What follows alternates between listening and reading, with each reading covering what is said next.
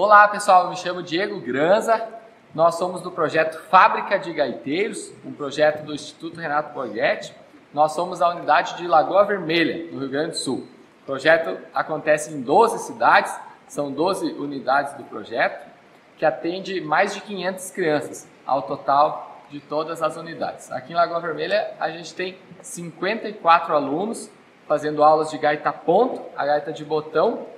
A música que a gente vai tocar agora se chama Shot Lição. Lição porque justamente é o primeiro shot que a gente aprende e é a segunda música que a gente aprende no, no projeto. Aqui agora temos alunos do nível 1, do nível 2, do nível 3 e os avançados do nível 4. Então, estão todos aí.